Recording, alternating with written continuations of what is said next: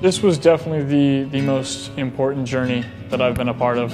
It was a struggle, uh, constantly being kind of in the background and just wanting an opportunity to prove myself, but not necessarily knowing the steps that it took to get there. Initially in high school, that recruiting process was very difficult just given the fact that I didn't receive any offers. I didn't really receive much attention. Can't touch the bottom. Into a tumble. Waves that shake me out.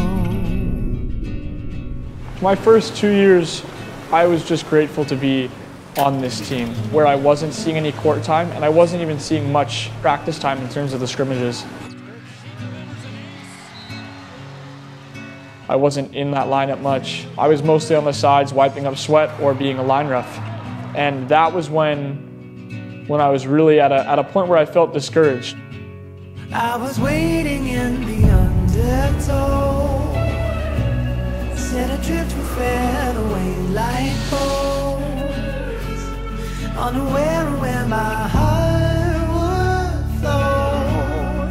I was waiting in the undertow.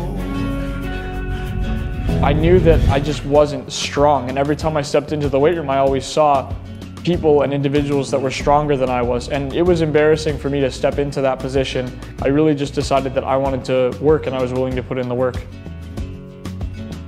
that was where the switch flipped, where I just kind of learned to fall in love with the process of working hard. And I learned that when, when, when hard work repeats itself over and over and over, day in and day out, it's rewarded. And I committed to that process. And I, I made the decision that I really wanted to, to step onto the court. When I started to make strength gains and vertical jump improvements and whatnot, um, I was just really willing to put in that work and just see how far I could go.